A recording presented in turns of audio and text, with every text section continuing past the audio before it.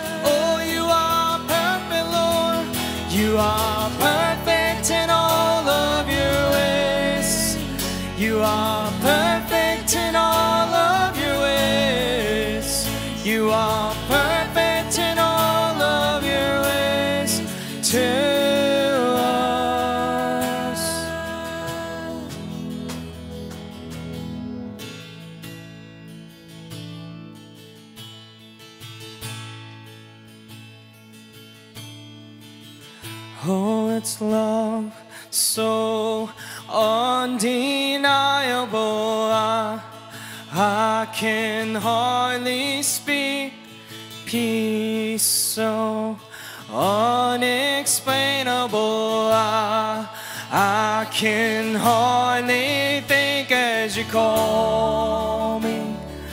Deeper still as you call me. deeper still as you call me, deeper still into love, love, love.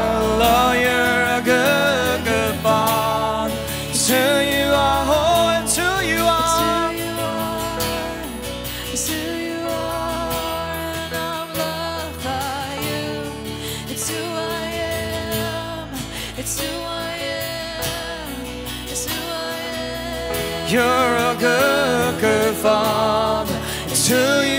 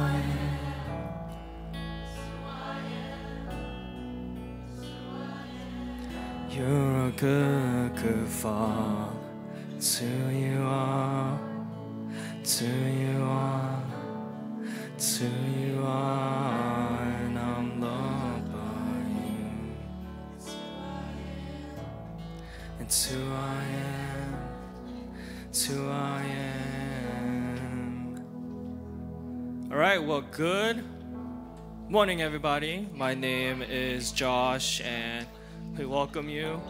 You know, I I know that song's kind of been memed because like you know it's like everywhere for a long time, but every time I play it, it's like wow, the are actually like really good, right?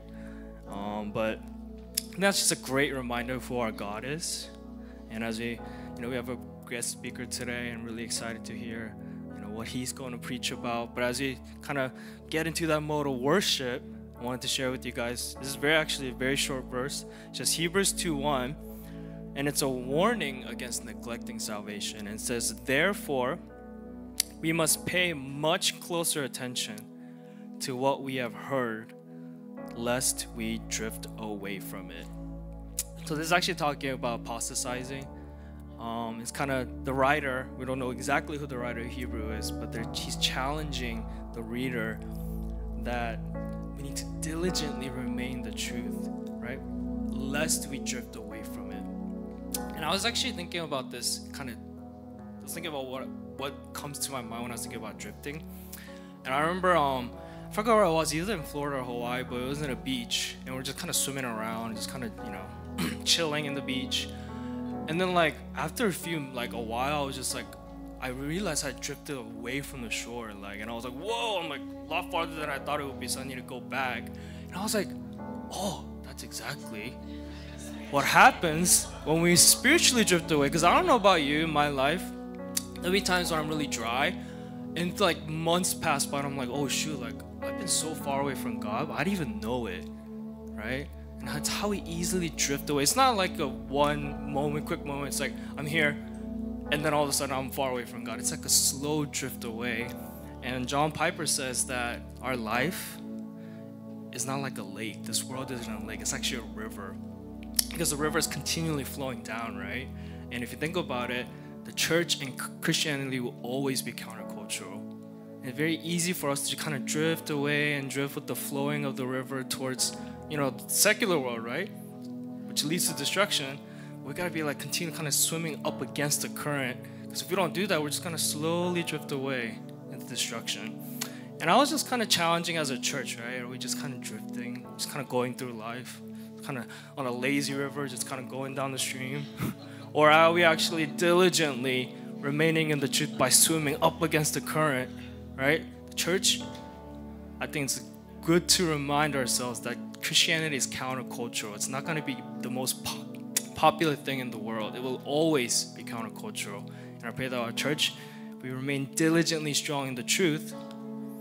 We won't so easily be swayed and drifting into the things of this world that right continually tries to, hey, come over here, do this or do that, try this or that. Let's pray together, church.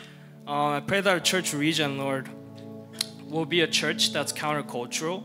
That's not the most popular thing that this world, the secular world, wants us to be, Lord. Just kind of saddening for me as I see a lot of churches starting to compromise the biblical truth for what is considered popular in modern culture, Lord. That our church will be firmly rooted in the truth so that we're not swayed by the things of this world that tries to slowly drift us away from who you are, Lord. Help us to remain diligent in the truth, Lord. Help us to know the Bible, Lord, so that we are able to discern for ourselves and we're not constantly just being spoon fed by somebody else. But Lord, help us to really dive into the revealed revelation of the Word, which is the revealed truth, God, in our lives, that you are the truth and the way and the life. So help us to really worship you this morning. Help us to have an encounter with you, Lord, so we can be rejuvenated in the spirit, but not just here, Lord, every day in our life. Help us to be really deeping dive into the word, deeping dive into relationships and edifying one another, Lord. So that we be a church that continues to grow, not just physically, but actually spiritually, Lord. Jesus, I pray, amen.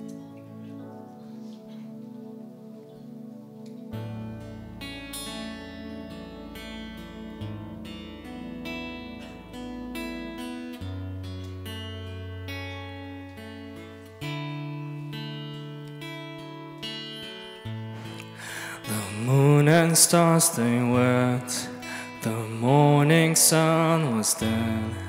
The Savior of the world was fallen. His body on the cross, His blood poured out for us. The weight of every curse upon Him.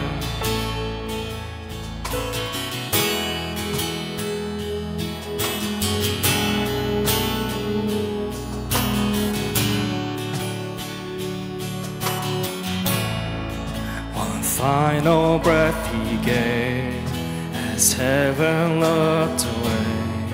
The Son of God was laid in darkness. A battle in the grave, the war on death was waged. The power of hell forever broken. The ground began to shake, the stone was rolled away. His perfect love could not be overcome. Now, death, where is your sting? Our resurrected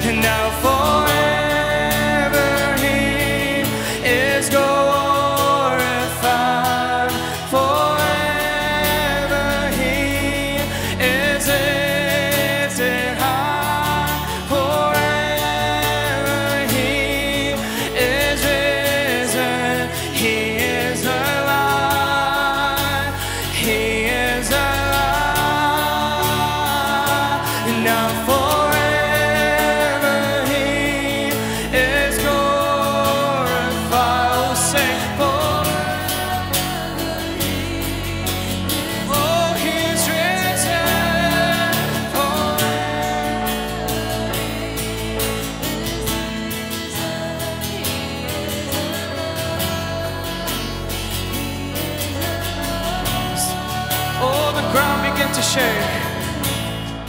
The ground began to shake. The storm was rolled away. His reckless love could not be overcome. Now, death, where is your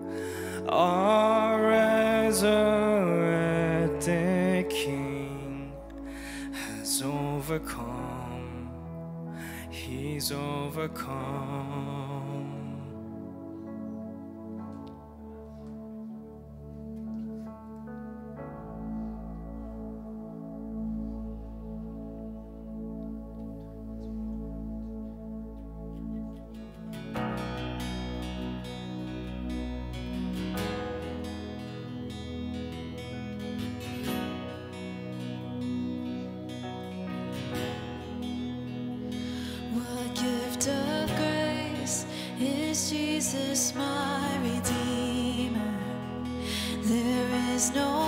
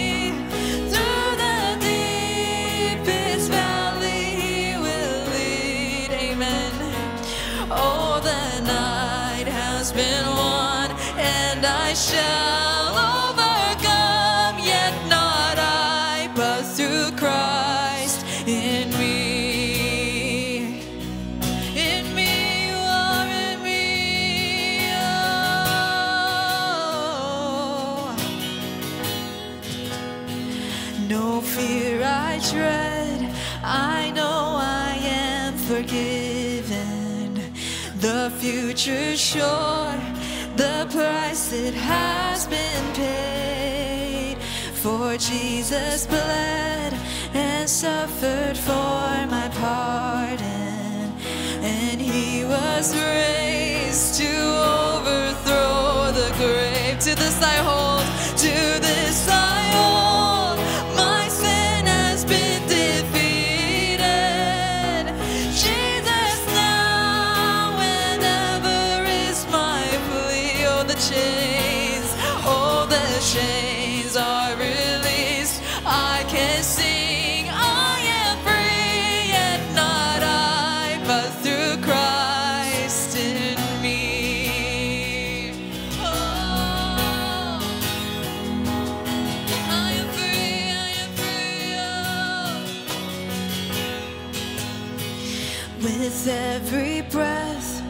I long to follow Jesus, for he has said that he will lead me home.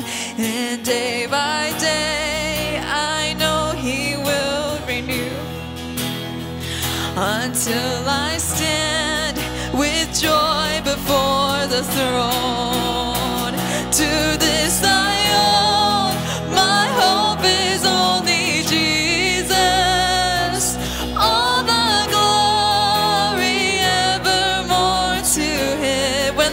is complete.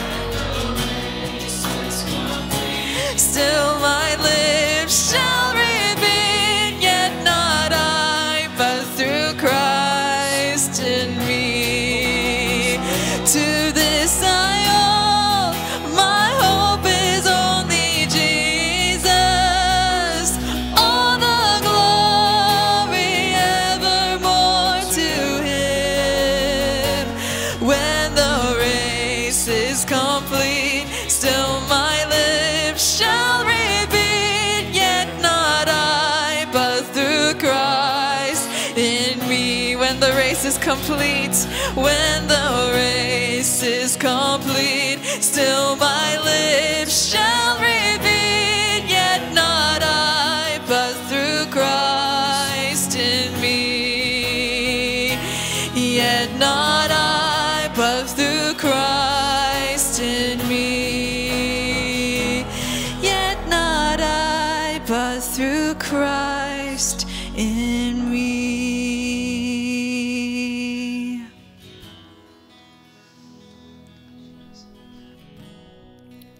morning, Regen. Good morning. Uh, we're going to transition now into a time of prayer. And um, yeah, as I was thinking about this morning and just the passage we're going to be going over, you know, I think of uh, the many times that Jesus has healed people in his ministry and how, like, all these people that were either like sick or they had some sort of problem physically, they were in that place for a very, very long time. I mean, some even died, and Jesus came to meet them. And as I, as I think about it, you know, you think about the timing of all of what Jesus did, and we always say in the church, we always say God's timing is always perfect. But there is a moment that we as individuals have to make a decision to actually meet Jesus, to actually come and be in his presence for the very first time. And then when we come, the question I ask is how do we approach our God? Do we approach him with a heart of like doubt and saying, well, we'll see what you can do, Jesus? Or do we approach Jesus with a heart of anticipation? Do we approach Jesus with a little bit of cynicism? Like, you know, you've you've tried before God, but you've never been able to really heal me. Or do we come to Jesus with a heart of faith? And so this morning, we're about to, we're about to pray, and specifically, we're praying about healing, and we're asking that God is a God that still heals today. And if we do believe that He will heal us, the question this morning is, what do we need healing from? And sometimes we always think it's a physical thing, but I want to really go deeper than the physical, and then ask, maybe there's something emotionally painful for you. Maybe there's a trauma that you've experienced in your life that you're still holding on to. Whatever you need healing from our God, it may be healing of our relationships, it may be healing from uh, the time that you were so betrayed and you're so hurt that you're still angry about or angry towards that person. This morning, I believe our God, our God, Jesus, is the God that can heal. And it says in 1 Peter chapter 5, verse 10. And after you have suffered a little while, the God of all grace, who has called you to his to this eternal glory in Christ, will himself restore, confirm, strengthen, and establish church, I believe that with all my heart that our God can heal. And this morning, can we pray?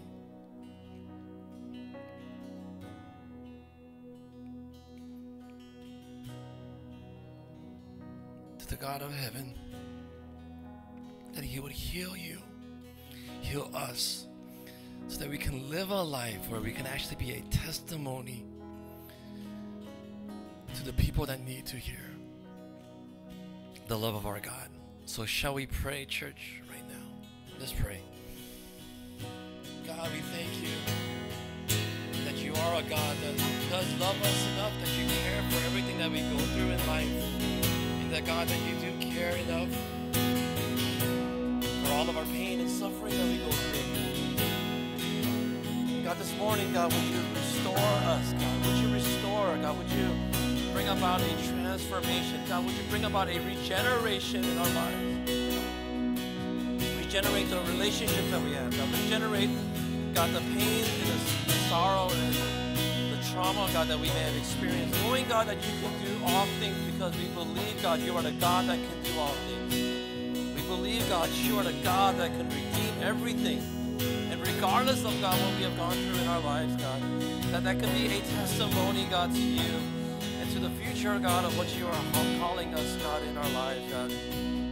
May we not just receive, God, these blessings and not do anything about them, God. Heavenly Father, we thank you so much, God, this morning. That God, we come before you realizing, God, that we need you more and more every day.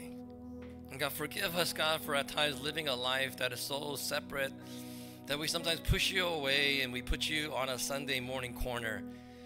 And God, the rest of the weeks, uh, we do what we want to do. But God, this morning I pray that we would lean a little bit deeper into you, God, and realize, God, we can't do our lives, God, without you. God, in our brokenness, God, we need you more and more. And God, we need you to heal, God, our hearts so that, God, in turn, we can actually live a life, God, for you. And so, God, help us this morning. Because we do believe, God, by faith, that we can approach you, God, with confidence, knowing, God, that you are the God that has gone through everything in this world. And still, we can come to you for all of our prayers. And so, God, we thank you so much, God, this morning. God, we love you. It's in Jesus Christ's name we pray. And all of God's people said, Amen, amen, and amen. All right, good morning, everyone. If you want to grab a seat, um, we're gonna welcome everyone to Welcome Regeneration Community Church. It's good morning. It is a good morning. Uh, there's some weird guy this morning was praying while he was uh, leading prayer time. I don't know what's going on. Anyways, we want to welcome you. Uh, we want to welcome you to Regen. Uh, we call ourselves Regen for short. Uh, we'll just go through some quick announcements. Uh, this is the way we give. Uh, we are a church plant. If you don't know, uh, we survive by God's grace, obviously, and then we also survive uh, financially Th- through these ways. As you can tell, this is the way we give. Um, it's pretty standard, right? All right, cool, cool, cool. All right. Uh, we want to welcome our newest members to our church who took membership class. I know those pictures look look amazing, right? Yes, there's that. There's a, like a. These are like all model photos here. Except Jethro looks a little cold in that picture. That was a prophecy right there. That was taken in the summer. But then this is this is how it feels today, this morning. It feels really cold. all right, so welcome them. If you guys don't see them, or if you see them, I mean around, just like say hi and say welcome. All right. So Yam and Fam Olympics, guys. If you don't know, we've been announcing this for a few weeks, right? So uh, we're gonna combine the two groups of our young adult ministry as well as our family ministries, and because people always, at least the young adults, sometimes say like, we don't know what's going on with the families, and the families sometimes. No, they never say they well, they never ask. They never ask about the young adults. I'm kidding. They do ask. They're like, hey, how's the other group of, how's the other side of the church doing? And so we're gonna actually get together. We're gonna eat. I'm sure a lot of good food and then we're gonna play some Olympics. It's gonna be very competitive. I think, I think some of the people that are really competitive, you got to watch out for. My wife. Uh, everyone else should be okay. They're not too competitive. They don't like curse or they don't like bite, right? What? You don't curse? Okay. Uh, but it should be it should be fun. It's coming up this Saturday, so if you haven't signed up, please do. And oh, and then next Sunday, um, if you are part of our church, we actually do Regen Reboot. You might be wondering, what's a reboot? Do you get a new boot for your shoes? No, uh, we reboot ourselves. uh, in the sense that we ask all the people that are part of our church, uh, or if you're not even a part of our church, we welcome you to come after service. Uh, we provide food to like really appreciate those of you that are serving within our church, and then we uh, recast the vision of our church, like help you guys understand where we are right now, where we want to be. Uh, we go through like sometimes discussion of our finances. We go discussions about different ministries that we're going to be doing, and and just sort of to help you understand like, hey, we're still moving forward, right, as a church. And so you can come along and just kind of hear the vision of the church, uh, and that's going to happen this coming Sunday. So bring your appetite and uh, yeah, just be a part of that. Cool. All right. Uh, Thanksgiving Sunday potluck lunch is coming up, so there is going to be a sign-up sheet. Uh, that there's a beautiful lady in the front that's holding. Uh, Vanna White is in the front. Um, no, okay. That's much. That's an old joke. Like only like ni- people that are like you know the 1970s were born in that understand that joke. Anyways, um, but there is a sign up for potluck. It's gonna be happening be happening on November 12th, as you can see. So please sign up, and we're gonna again feast. I feel like church. That's all we do is eat. Like I'm surprised that we're not all like obese and we're like laying over our, our chairs that we're sitting next to. But it's okay. It's okay. It's okay. Uh, Christmas wish sponsor. So this is actually, uh, I, think a Julianne thing, right? Julianne thing. Okay. So Julianne works at a nonprofit, and there are children that she serves. Uh, there are obviously low-income children, and so if you want to uh, sign up and actually sponsor a child for this upcoming Chris, uh, Christmas, uh, it's uh, any gift, right? We're talking about any gift. Okay, they want specific. These kids want specific things. They don't. They don't just want junk. They just want specific toys that are like high quality toys. They so Julianne will have a list of what uh, these kids, these non-spoiled kids want. Uh, they really want these specific toys. I think I've I actually heard like one of our people donated like or, or sponsored already ten kids, which is which is amazing. Like who would do that? Who would do that? Right? Who would do that? Who would do that? no. I'm looking at the person right now, actually. I'm looking at the person. If you can see my eyes, my small eyes. Okay, here we go. Oh yeah, right. Before before I introduce uh, our guest speaker, I, I want you guys to understand Regen. I don't want us to think Regen is like like every Sunday you hear this like like this Asian guy come up here with a very heavy accent and say like hello everybody like that's not church, right? I hope that's not church. Hopefully you don't go to a church like that. Maybe you do. Maybe that is regen. Like you, everyone talk like that, like you know, and it's time to worship God. All right. and if that's a church you're coming to, man, God bless you. God bless you. But I would like our church uh, not to listen to some Asian guy that constantly has like bad jokes or talk like very heavy accents. But I would like diversity, right? I like just even if you look around this room, hopefully you'll see diversity, right? And so, and I think that's what they, the way heaven's gonna be as well. You know, maybe you might hate heaven that way. Like you're gonna be in your own little corner of the world and be like, "This is my heaven."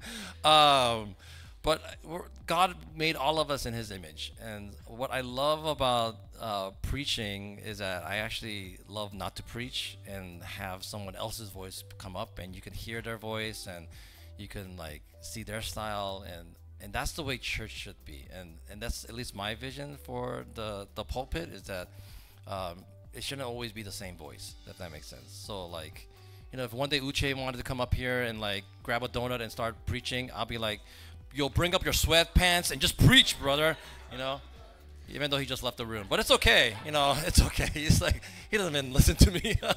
it's like a Sunday. He doesn't listen to me anyway. So, anyways, so with that being said, was that too much? Was that too, okay?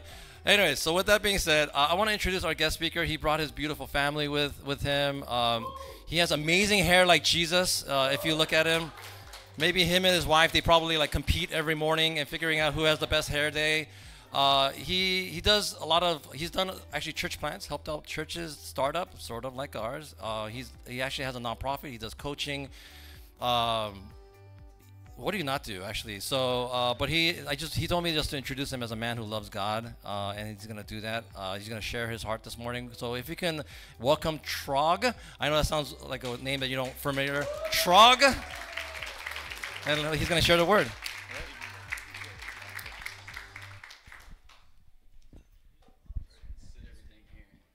Stand up. Yes, yes, yes, yes, yes.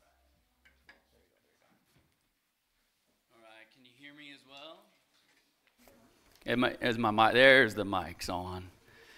How we doing? It's great to be. There you go. One person says I'm good. Uh, my joke is I used to look like Jesus, but now I look like Moses because I'm getting so old. Uh, but that's the way it works. Uh, will you pray with me? Lord, open our eyes that we can see the wonderful things in your law. Give us understanding according to your word. Holy Spirit, fill this room with your tangible presence that we may be forever changed. May the words of my mouth and the meditations of my heart always be pleasing in your sight. And Lord, will you give these people the best of me for your glory? Come in power, Lord, in Jesus' name. Amen. Amen. So I am very glad to be here today. Um, last year I helped coach uh, son and my son Rocky's back in the, the corner over there uh, in basketball.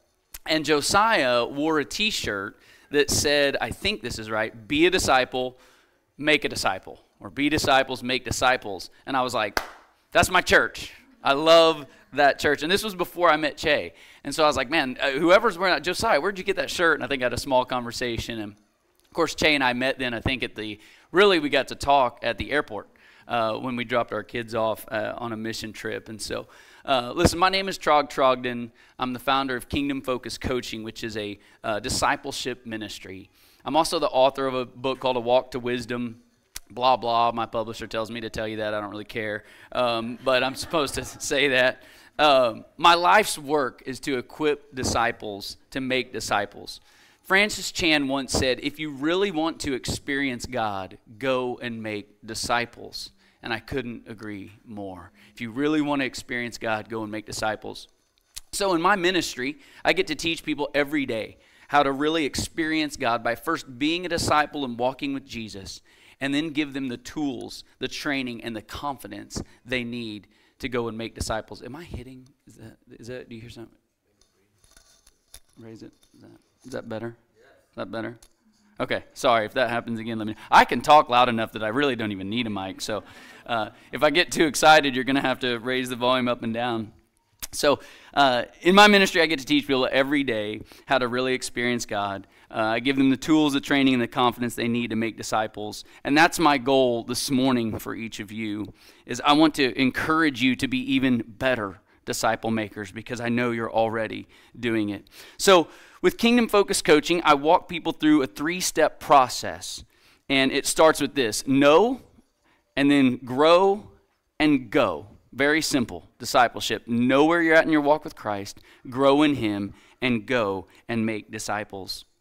So, Paul says, before you take communion, to examine yourselves, to know if in fact you are in the faith. This is 2 Corinthians 13 5. The whole book of First John was written to solidify in your hearts that you, in fact, are a child of God, if you have repented of your sins and put your faith and belief in Jesus Christ. I use a spiritual survey to begin the discipleship process. And this is where um, I can share it with Che later. We can use all sorts of stuff that would help you guys. But it walks through one's confidence in their ability to practice a spiritual discipline. And then it walks them through um, their consistency of practicing it. So one is head knowledge and the other one is heart knowledge. Head knowledge is that you have the ability to pray, you have the ability to read the scriptures, you have the ability to journal, but also the consistency is really how much time you spend with Jesus. How much do you love spending time in the Word? I won't let people give me a number 10 until they can teach it. So, in the ability, I say, hey, I know when they're ready to go and make a disciple, when they can teach how to pray, how to read the scriptures, those kinds of things. And so, I think it was E.M. Bounds that said, you know how much you love something by the amount of time you spend with it, right? Or with them, maybe we should say. And so that is a little bit about uh, the know part. The grow is the five fundamentals of discipleship. These are, are very simple, but Jesus said, I'm, I am too loud. I, I can hear it popping. Is that all right?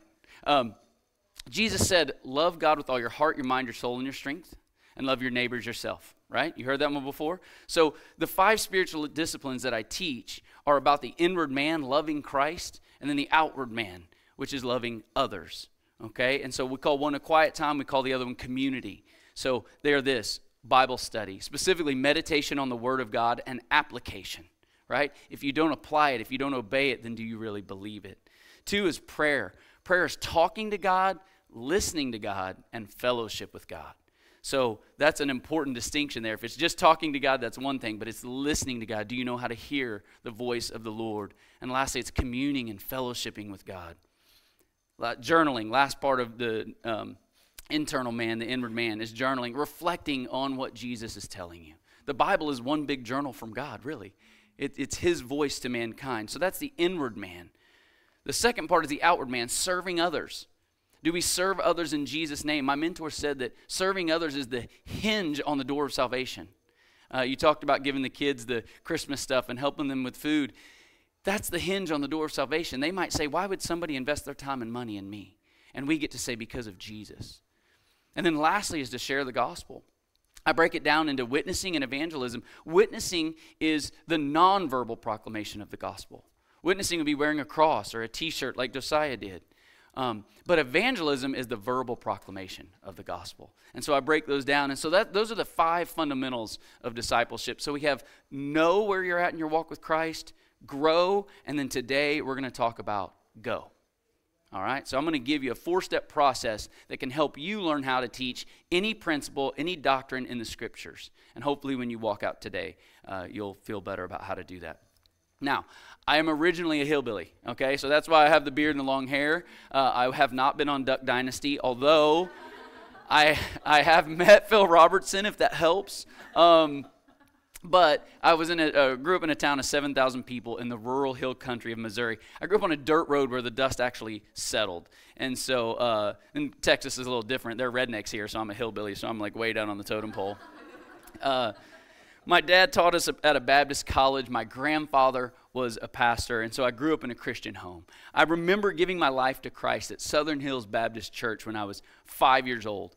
I remember the communion plate being passed around, and I started crying because I didn't know why, actually. But my dad took me in the back prayer room.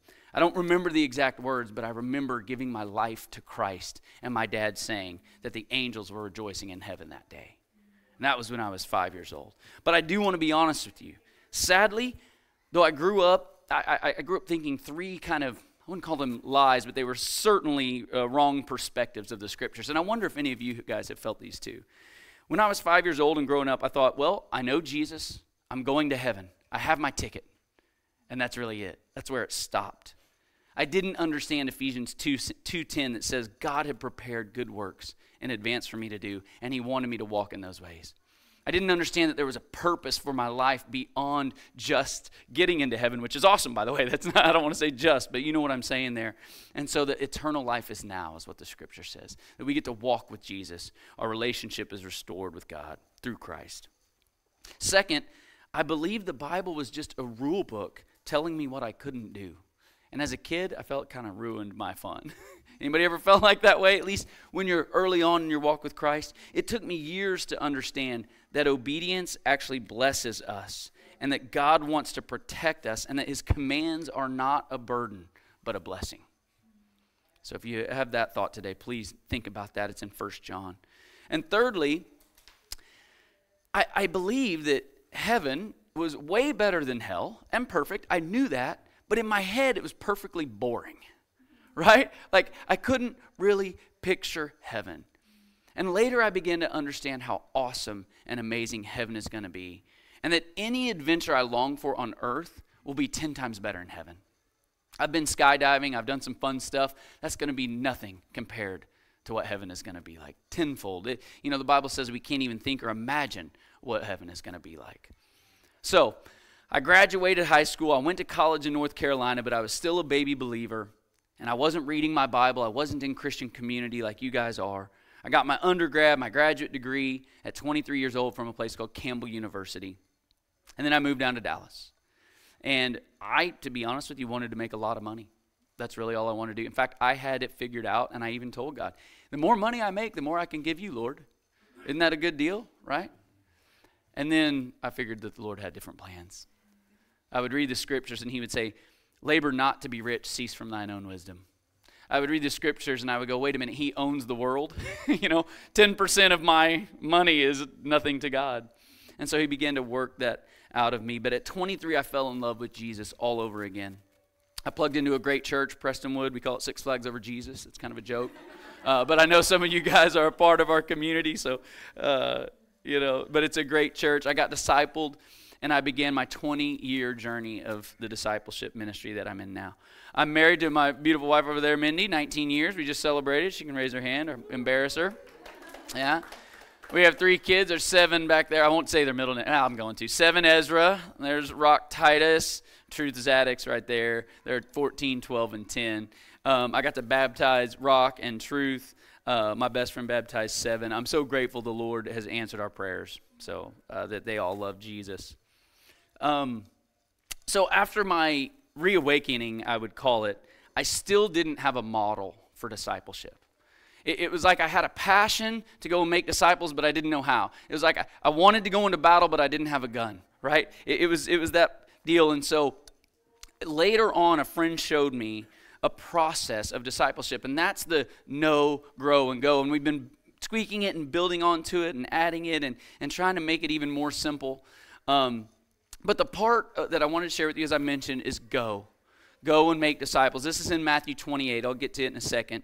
But if you can answer, and if you journal uh, or taking notes, I would say this write these four questions down. And this can work with any biblical principle or any doctrine, anything you want to teach. You have Sunday school classes, whatever you do. Answer the questions what is it? Why is it important? Why don't I do it? And then how do I do it? What is it? Why is it important? Why don't I do it? And how do I do it? So let's walk through that today, and we're going to use discipleship. So, what is discipleship? Here's the summary Discipleship is the process of helping another person become mature in Christ. It's that simple. Helping another person become mature in Christ. Now, I'll give you a longer definition because I'm a little wordy. That's why I get to preach, right? Like I just keep talking. All right, discipleship is the intentional and relational process of helping another person become mature in Christ through the knowledge of and obedience to the Word of God. And lastly, I would add, and in the power of the Holy Spirit. Okay, so that's a long definition. I'll break down a few of them for you. Intentional. Jesus says, go. He says, go. He doesn't say stay, he says, go. We weren't saved to sit down, we were saved to be sent out. Amen? That just came out. That wasn't in my notes. But are you with me? All right? It's relational. In 1 Thessalonians, Paul says this, but we were gentle among you like a nursing mother taking care of her own children. So, being affectionately desirous of you, we were ready to share with you not only the gospel of God, but also our own selves, because you had become very dear to us. That's relational.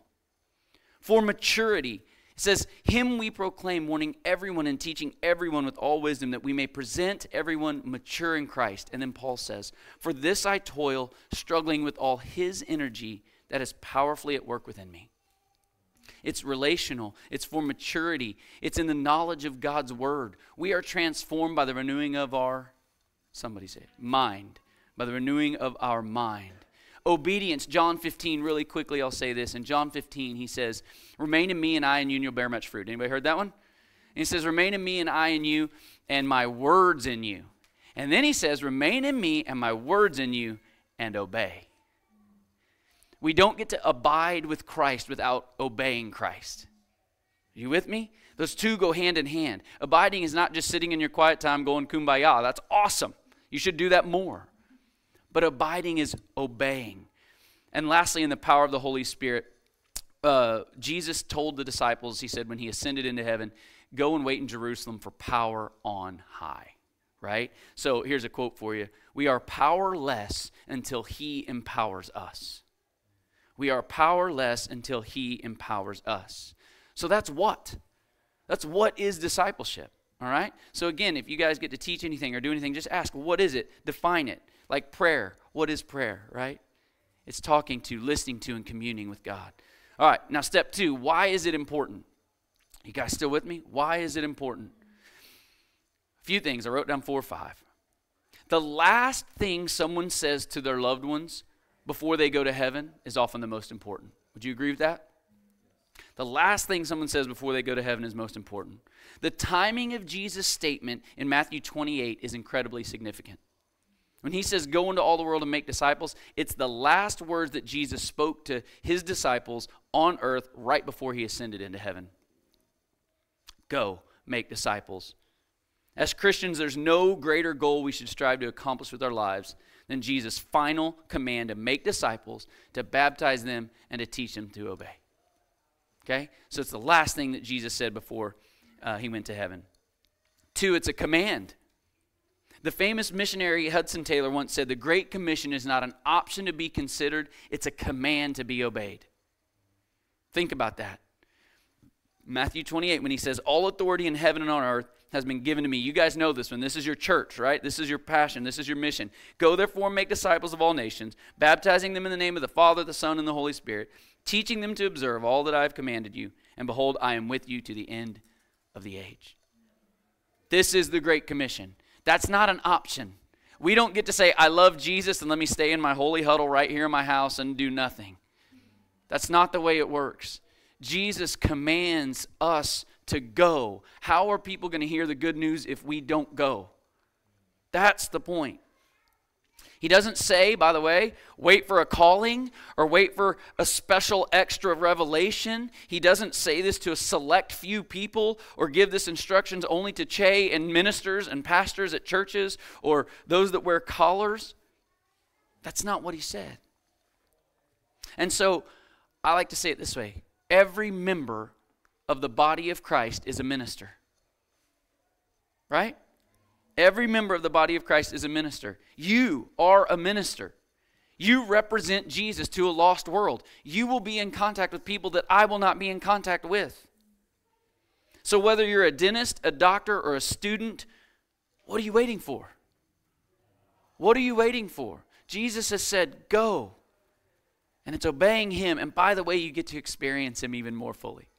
Or, side note, if you had a Ferrari in your garage, would you be content reading the manual or would you want to drive at 120 miles an hour? Too many of us are content reading the manual. But he wants us to experience the 120 miles an hour with him in the great adventure called life, leading others to Christ. We are ambassadors for Christ, and God is making his appeal through us. All right, how are we doing? Are we good? Three, humanity is hardwired with a desire for discipleship. Let me explain this. We're all being discipled and influenced by someone. The only question is by who. The only question is by who. Everyone has a role model growing up, a hero of sorts. Could be LeBron James or Tiger Woods or Taylor Swift if you're a Swiftie in here. but you have a favorite uncle, a favorite cousin, something. Ideally, it's your own father that's your hero. But even with kids that are great dads, there are other champions in their lives that they look up to. The Rangers are playing the World Series, right? I'm sure that people are looking up to the Rangers. And by the way, somebody's looking up to you. That desire, I believe, to have a hero, to look up to somebody, is the innate desire to be discipled. God hardwired it in, into our DNA, our spiritual DNA, in my opinion. Furthermore, as we get older, as you can tell, I'm getting older, we want to leave a legacy. We want to be remembered and pass on valuable information to the next generation. And this, too, I believe, is a God given, hardwired aspiration in the hearts of man. And here's the cool part by making disciples, we get to both. by making disciples, we get both. We get to be um, encouraged and influenced by godly men and women, and we get to leave a legacy. When my, when my mentor died at his funeral, I was thinking of Hebrews when it said about Abel, even though he died by, by his faith, he still lived. And that's my question for you. By your faith, if you died today, will you still live in what you shared about the gospel and about Christ to other people?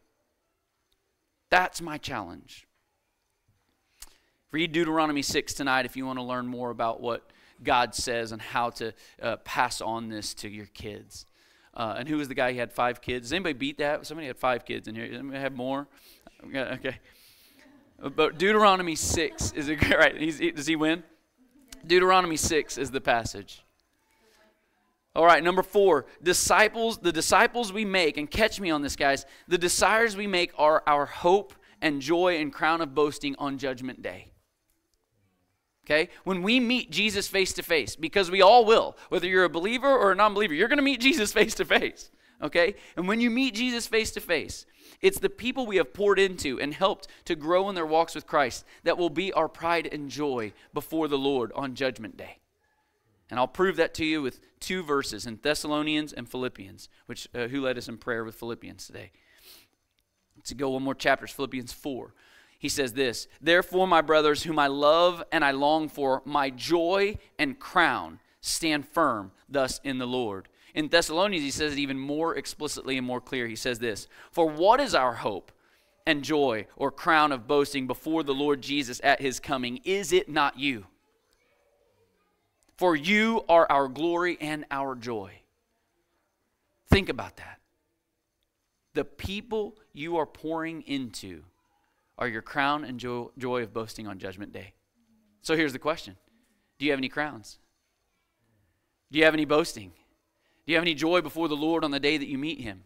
And if not, why not? This is what God has called us to be and to do. Is there a greater reason in all the world to invest our lives in other people than that? I want to advance the kingdom of God, and I want to have something to boast in Christ for uh, before Christ on Judgment Day. So think about that, guys. If not, why not? And fifth, lastly, I would say this. Oh, I wanted to share this with you actually. Uh, making disciples is the fastest way to get the gospel across the globe. Number five, making disciples is the fastest way to get the gospel across the globe. Let me share this with you. Che, I know you preach. Do you, do you preach to a thousand people a day by chance? no. no, okay. Do you, yeah. I don't know many that do. Do you know that if you preach to 1,000 people, 1,000 different people every single day of your life, with 7, uh, 7 billion people on the planet, do you know how many years it would take to reach 7 billion people? 19,178 years. And that's without a growing population. So if you preach to a thousand people a day, now I'm not saying we shouldn't preach because Jesus says go and preach the gospel to all creation. We should preach. But what if, what if instead I said, hey, you know what? I'm going to invest my life in three men. And they're going to promise me that they'll invest their life in three men. And we're going to do that for a year at a time. So take three men, for me, if you're a woman, take three women. And for one year, invest your life in them making a disciple. The end of the year, you'll have three. But if they promise to do the same, and their disciples promise to do the same, let me share with you what happens. Year one, you get three disciples. I'm going to skip ahead. Year seven, do you know how many you have? 2,100.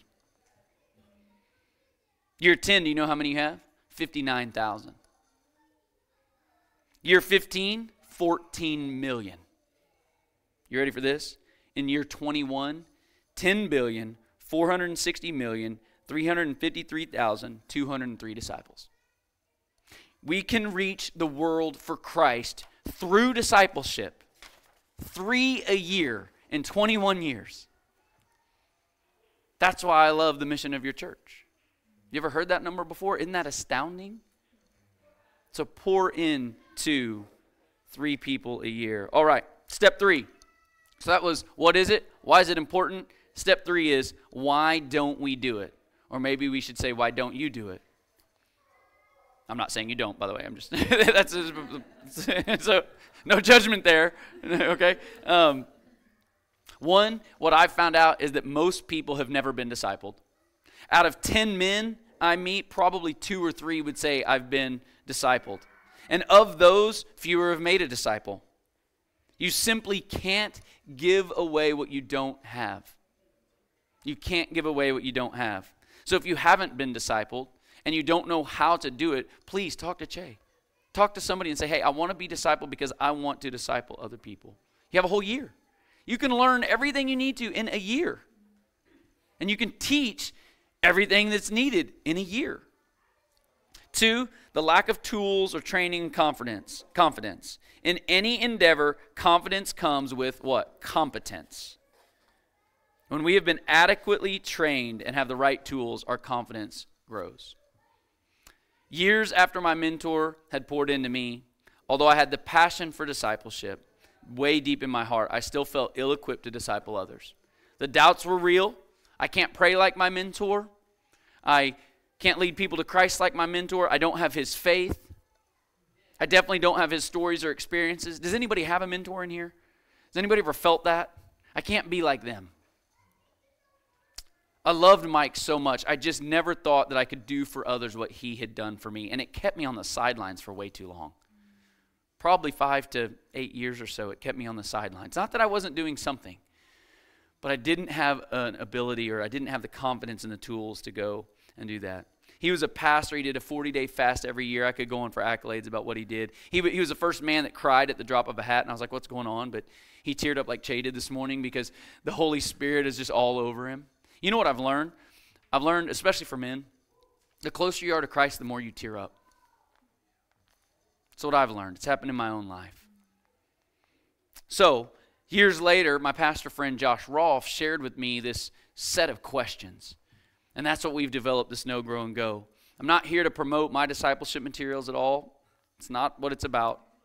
Um, but I want discipleship to be easy to learn, hard to forget, simple to use, and most importantly, duplicatable. And so that's what I'm trying to produce, and I'm working with Che and other friends on that. Number three, fear of failure, and this is important, guys. Fear is natural in the fe- flesh. Everybody, anybody ever felt fear? Anybody? All right. Everybody gets scared, and that's okay. Did you know God addresses fear over 500 times in the Bible? Over 500 times in the Bible, God talks about fear. In fact, 103 times he says, Fear not. Do not be afraid. To be fruitful for Christ, we can't let fear freeze us. Instead, we need to reframe failure and restructure our view of success. Okay, so we're going to do that right now. We're going to we're going to take a little time and do that. So let's reframe failure. I believe, and I talk to Rock and all my kids about this, especially in sports, but failure only exists when we stop moving forward, if we quit. The only way failure exists is if you quit. Every other failure is just a learning experience, teaching us how to improve and get better the next time. Did you know, again, I'm thinking about the Rangers too much, but it's fine. you know the best baseball players in the world get paid millions of dollars a year to bat 300? That means they're getting on base 30% of the time. They succeed one third of the time, yet they keep going. They don't focus on their failure, but they focus on the foul balls that they hit because they're closer. They focus on the home runs. They focus on the base hits. And we're wise when we do the same. Has anyone ever been fishing? I know I'm a country boy. I already said that. My daughter has back there and been fishing. All right, my man in the backwards hat, you've been fishing. All right. Did you catch anything? Uh, not lately. Not lately. Okay. All right. Fishermen do not count the casts, they count the fish they catch. If you're a fisherman and you counted the casts, 1001, 1002, oh, there's a bite, right? That's not what happens. If you do that, you never go fishing again, right? You count the fish, and then you brag about how big the fish is a little bit. Fish stories kind of like go like this, right? We're fishers of men. What are we counting? Are we counting the failures? Are we counting the times we get rejected? Are we counting the people that are encouraged in Christ? Right? Wise men and women don't win or lose, they win or learn. Wise men and women don't win or lose, they win or learn.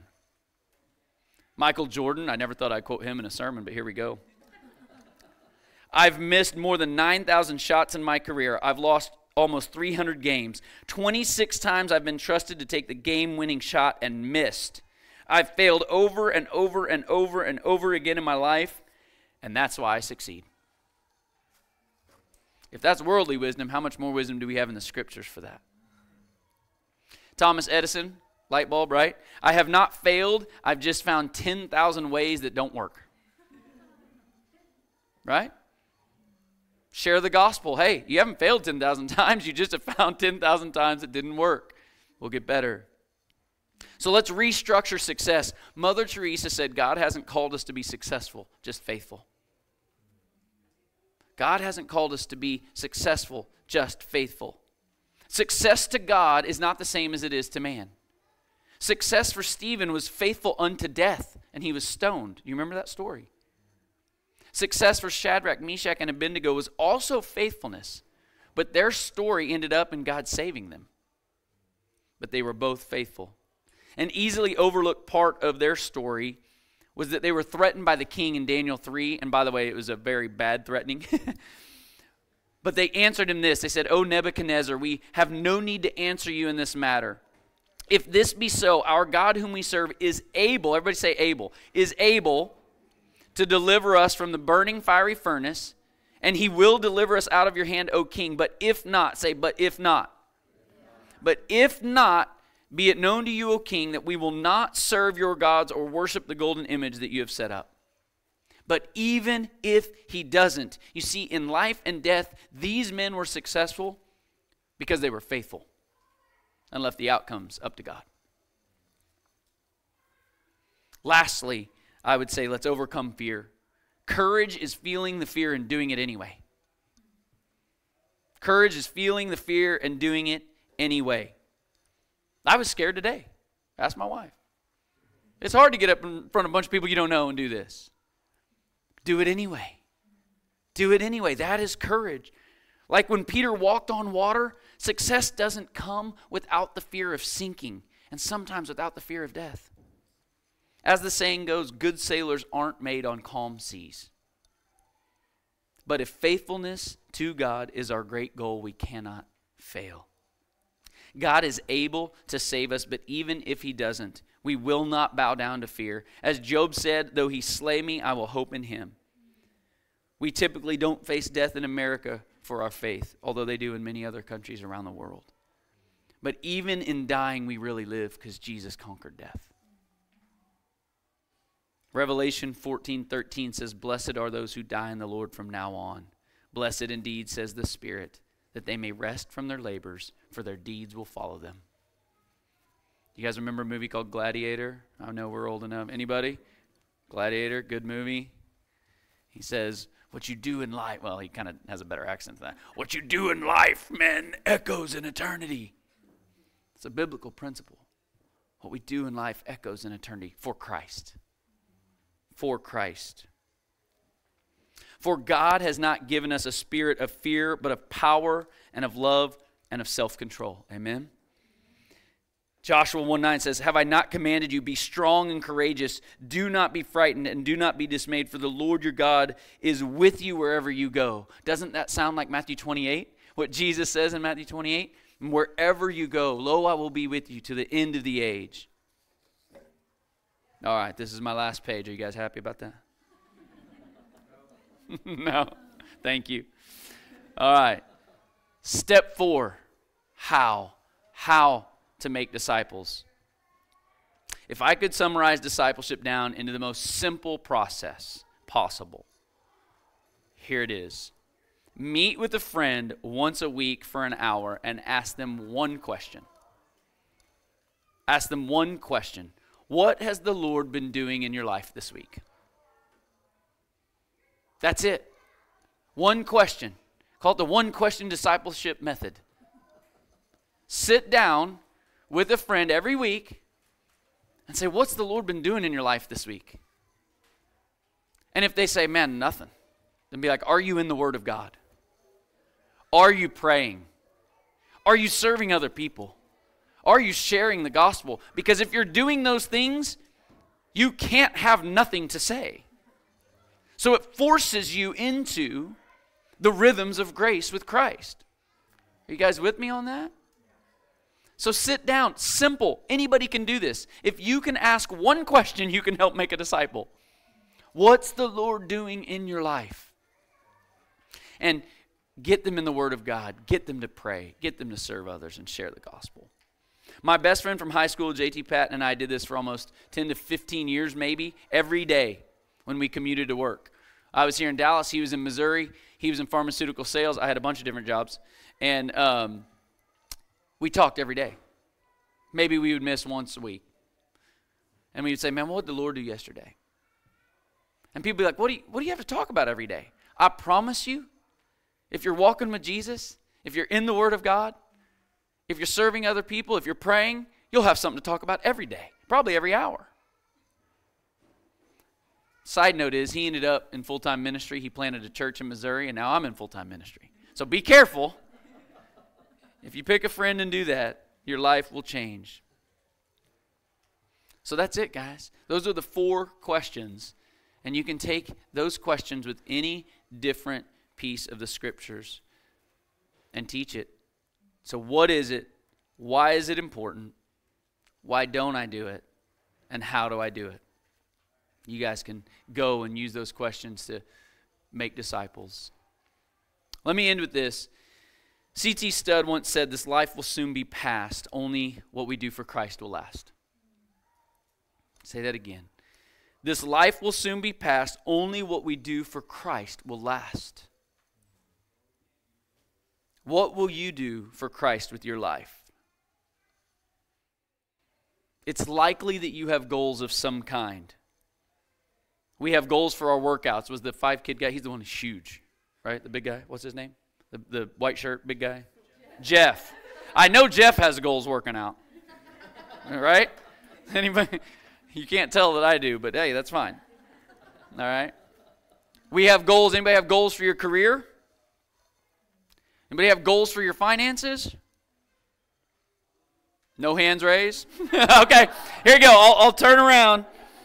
You guys, you guys like I'm not. I'm baiting you into something, aren't I? Right? Let me ask you a question. I'm very serious. Do you have gospel goals? Do you have gospel goals? Are you asking the Lord to use you to lead people to Christ? Are you asking the Lord to use you to make disciples? So that's my challenge for you guys today. It's the last thing I want you to do. If you, again, if you journal or take it on your notes on your phone or whatever it is, I want you to write down two things. I want you to say, Lord, use me to lead fill in the blank, however many numbers you want 10, 20, 200,000. I don't care. But write down goals. Lord, use me to lead 20 people to Christ in my life.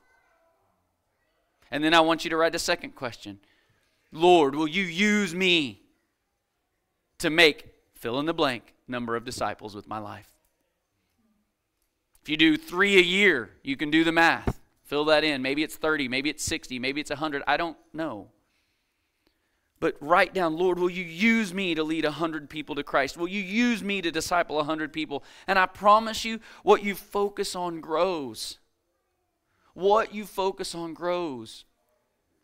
If you wake up every day and you ask the Lord that, Lord, would you use me to lead somebody to Christ today?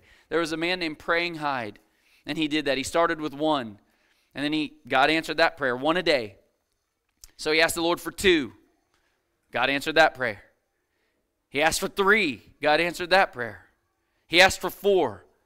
By the time he passed away, God was using him annually, average, for four people to lead to Christ every day. Maybe you're the next five or ten. Maybe you're the next Billy Graham. You never know.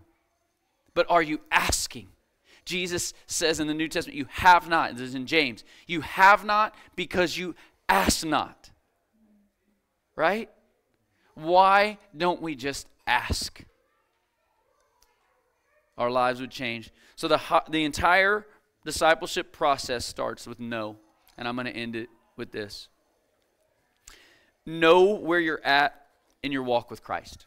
That's where it starts. We said know, grow, and go, right? Know, grow, and go. I'm not going to assume that everybody in here knows Jesus. So I'm going to share the gospel with you. So if you have never put your faith and trust in Jesus Christ, if you don't know that you know that you know that you're going to spend eternity in heaven, the Bible says today is the day of salvation. It starts with bad news, but the bad news makes the good news even better. The bad news is, as the Bible says, that you and I have sinned and fallen short of the glory of God. Every single one of us in here has sinned. We could all just raise our hands, raise them both, right? We have all fallen short of the glory of God. But the Bible also says that while you and I were yet sinners, Christ died for us. That God so loved the world that he gave his only begotten Son, Jesus Christ, that whoever believes in him will not perish, but have eternal life. And then the scriptures say, listen, if you want to enter into that relationship, if you will repent of your sins and say, Yes, I'm a sinner and I need a Savior, and you want to not only spend eternity in heaven with Christ, but you want to have eternal life now because the relationship becomes restored, all you have to do is repent of your sins and believe in Jesus Christ as your Lord and Savior. This is the simple gospel.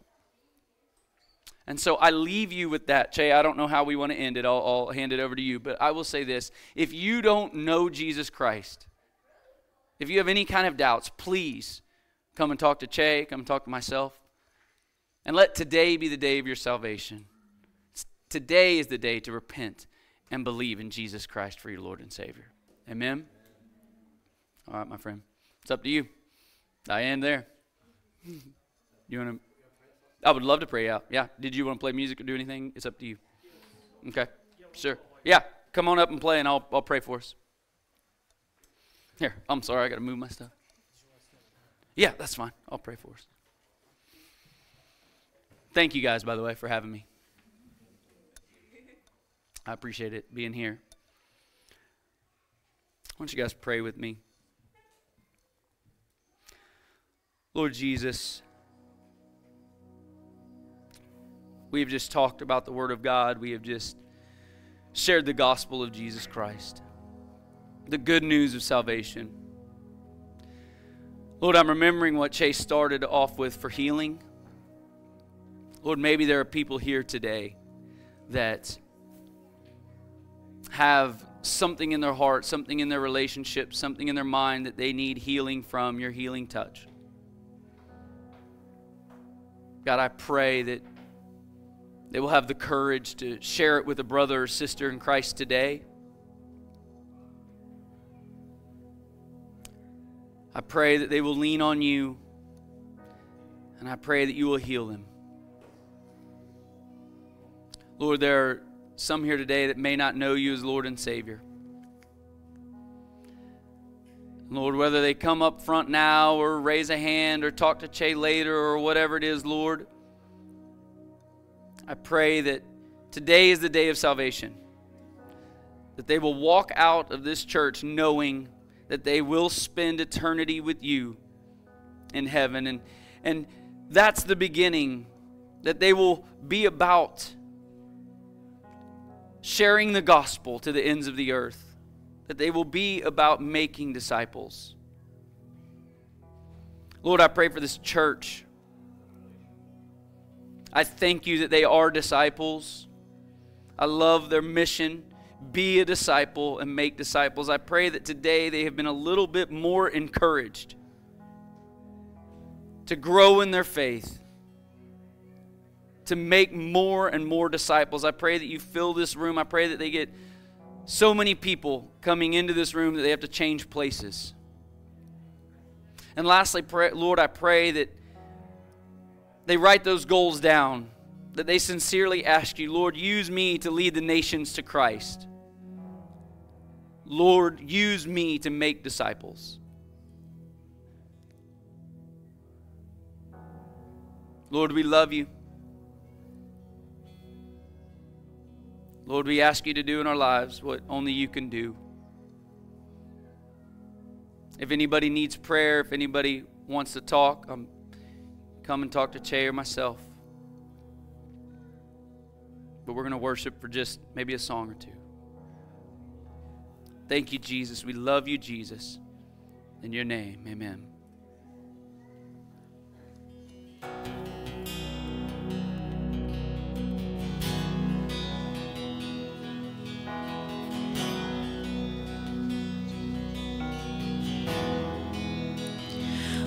gift of grace is Jesus, my Redeemer.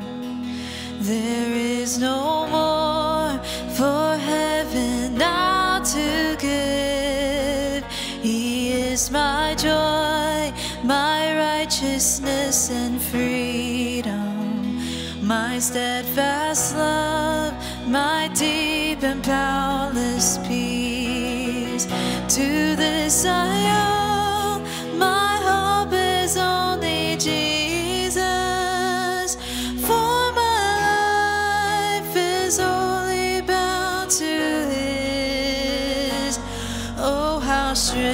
Ancient, and divine, I can sing all is mine, yet not I, but through Christ in me.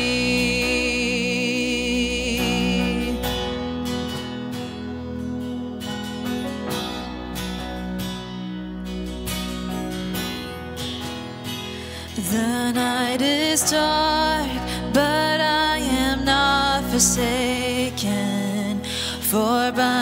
side, my Savior, He will stay.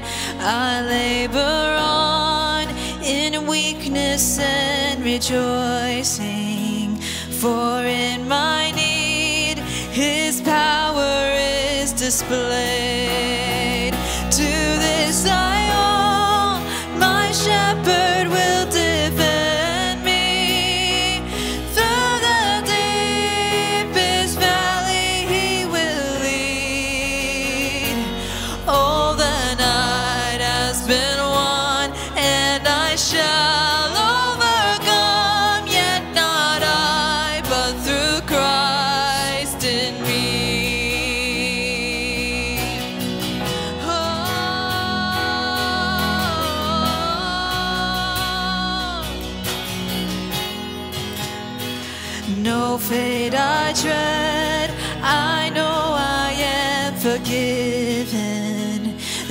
future sure, the price it has been paid.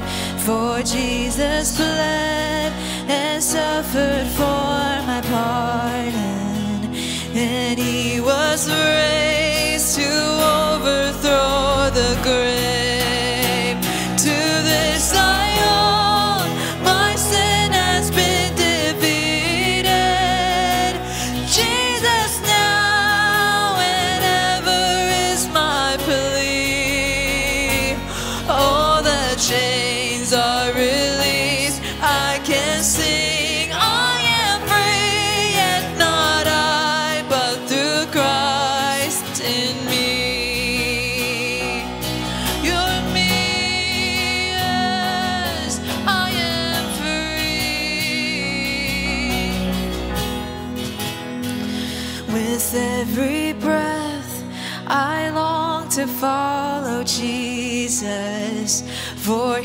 has said that he will bring me home. And day by day, I know he will renew me until I stand with joy before the throne.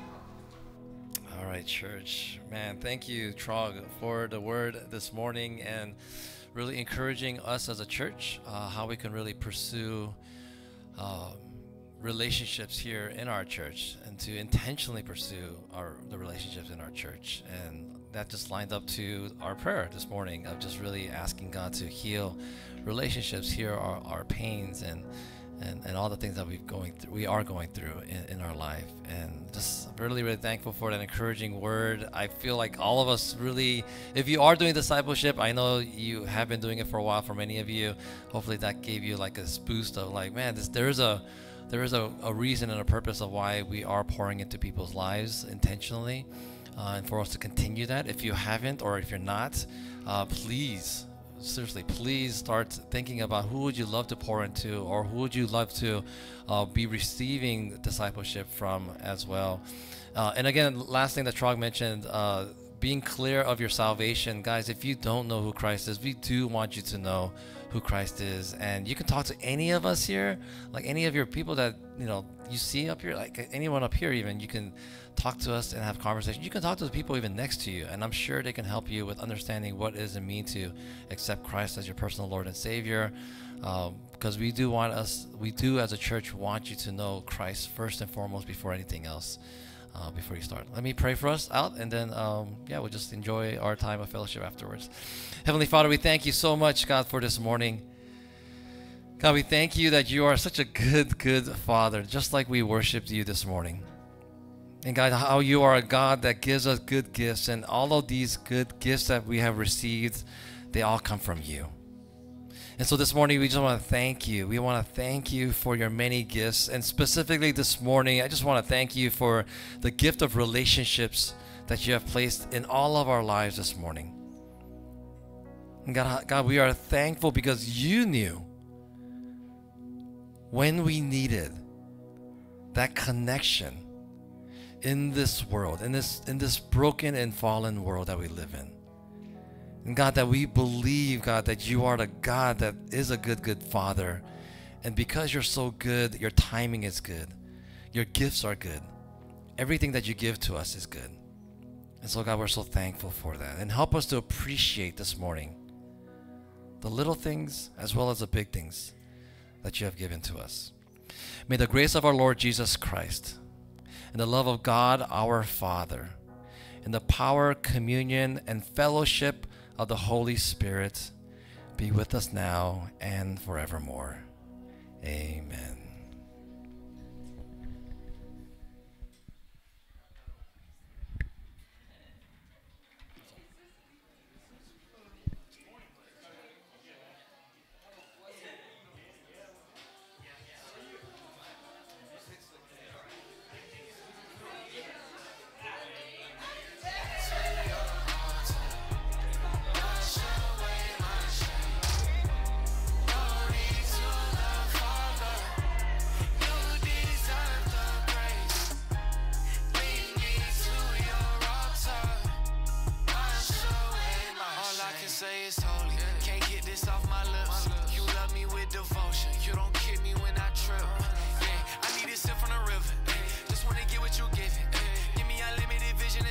Counterfeit. I want the realest. Where he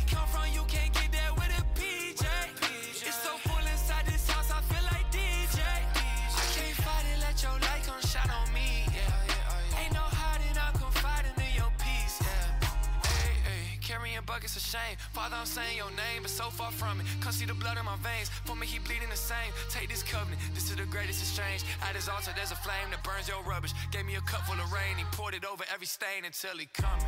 Glory